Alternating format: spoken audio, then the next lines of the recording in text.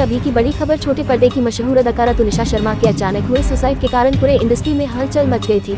अचानक हुए इस हादसे के बाद से पूरा इंडस्ट्री शोक में डूब गया था। बता दें कि एक्ट्रेस की सुसाइड केस को लेकर काफ़ी ज़्यादा बवाल और छानबीन भी की गई थी। हालाँकि तुनिशा शर्मा के को स्टार ने अब एक्ट्रेस को लेकर एक चौकाने वाला खुलासा कर दिया है, जिसे सुनने के बाद अब उनके फैंस भी आश्चर्य हो गए हैं। दरअसल तुनिशा की सुसाइड के पीछे उनके डिप्रेशन को भी बताया जा रहा था। इस पर अली बाबा ने तुनिशा के मामा बने चंदन ने बताया कि तुनिशा एक हंसती, खेलती, प्यारी बच्ची थी। वह डिप्रेस नहीं हो सकती है। लोग कह रहे हैं कि तुनिशा डिप्रेस थी, ऐसा नहीं है। मुझे बुरा लगता था जब सब बोलने लग गए कि वे डिप्रेस थी। कुछ डिप्रेशन में नहीं थी, उसका दिल दुखा। बुरा महसूस हुआ और बाकी की कहानी वही जानती है की क्या हुआ। मैं नहीं जानता हूँ, लेकिन जब मैं उसके बारे में सोचता हूँ तो सेट पर उसकी कड़ी मेहनत याद आती है। वह बहुत फोकस और खुश रहने वाली लड़की थी। पर क्या करे? कुछ नहीं कर सकते।